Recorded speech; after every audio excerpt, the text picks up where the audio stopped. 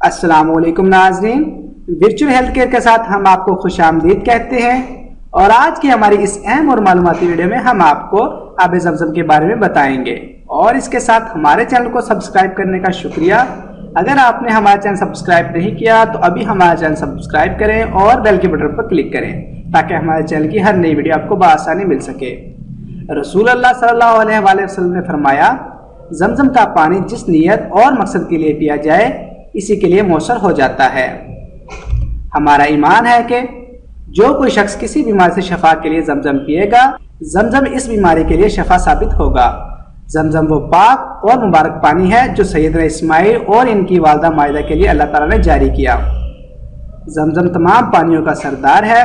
سیدنا اسماعیل رضی اللہ تعالیٰ عنہ اور ان کی والدہ معاہدہ کے لیے یہ پانی خوراک اور مشروب دونوں کا کام دیتا رہا۔ آب زمزم کے کنویں کو دیکھنا ثواب ہے۔ اب ہم آپ کو آب زمزم کو پینے کا طریقہ بتائیں گے۔ کھڑے ہو کر قبلہ رخ کر کے بسم اللہ پڑھ کر تین گھونٹ میں آہستہ آہستہ پئیں۔ حج اور عمرے کی نیت سے جانے والے لوگ اس پاک و مبارک پانی کو پاکیزگی کی نیت سے پیتے ہیں۔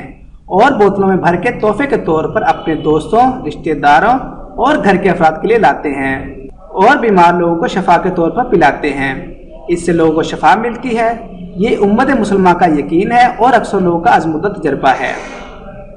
آب زمزم مکمل غذائی ٹانک ہے۔ زمزم کے ہر ایک قطرے میں شفا ہے۔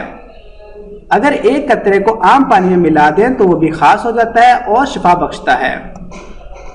عام کنویں میں نباتات اور حشرات کی پیدائش اور افزائش ایک قدرتی عمل ہے، جبکہ زمزم کے پاک پانی میں نہ تو کوئی کائی لگتی ہے اور نہ ہی حشرات اور نباتات کی پیدائش ہوتی ہے۔